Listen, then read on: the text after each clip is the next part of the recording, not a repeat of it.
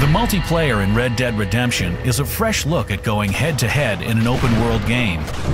And now, Rockstar adds cooperative play with the Outlaws to the End co op mission pack. You and up to three friends can fight alongside one another in six new missions. In the river, players man a raft and battle opponents on both water and land. Enemies on rafts will pursue you downstream to an occupied town where you must destroy their weapons caches. In Walton's Gold, time is of the essence as you storm a mining camp.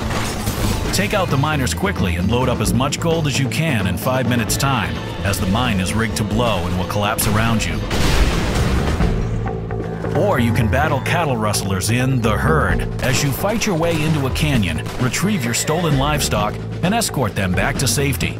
Watch out for snipers. The Escape is a multi-part mission where players steal coaches from gang members. Use the Gatling gun or shotgun to dissuade pursuers, then clear out gangs in Tumbleweed. Or rescue a rancher's daughter in The Kidnapped Girl.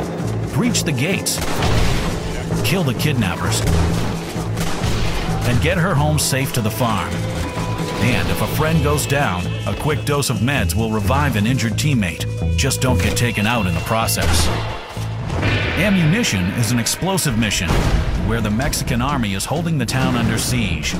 Break through the Gatling guns and snipers, take over the cannons, then use them to take out the remaining Mexican army and their artillery caches.